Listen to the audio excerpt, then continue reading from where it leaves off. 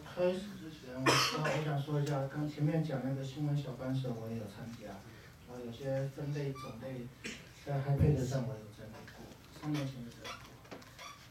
那如果大家有兴趣的话，也可以来找我。那我今天就讲那个新闻的分析指标哈，那这个我说珍珠了，那其实它就是一些哩哩啦啦的一些资料。我们现在最就是以我带头，在烦恼就是说大家把这些资料给它串起来，串成一串珍珠项链的问题，哦，不然的话就就很松散。那右下角那边找几个像 v a t i 工程师，有 PHP 的跟那个叫那个 JS 的，那懂那个想关心品质的乡民，那懂一点新闻学的人，但是这个不并不是必要的。我也上了几堂课，但也我也不懂。呃，譬如说有这个页面已经整理过，这这只是上面的一部小部分。那譬如说标题这样说，哦，那这样说的东西要列个表，哦，哪一家哪哪一天，那每一家的台说他的这样说的这样的标题是有几个，哦，比如说做统计报表。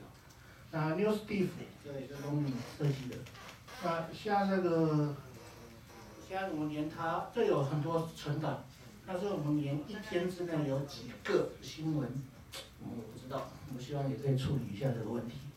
哦，啊，刚刚说这些话，不清不楚的奇怪的标题，这是骗人的标题。好，存档都在这边，哦，那都在下载，都是接收的。然后呢，我们这个有位台台中的一位陈老师，他去年。一刚好一年前，他帮我们整理了二十八个分析指标，那都都已经放到网络上了，然后就可以做一些更细腻的整理。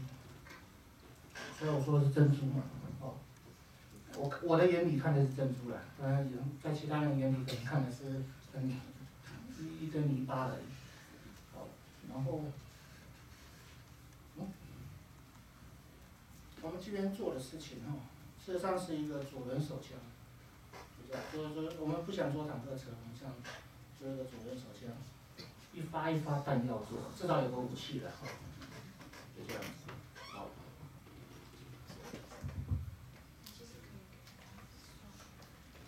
好，谢谢。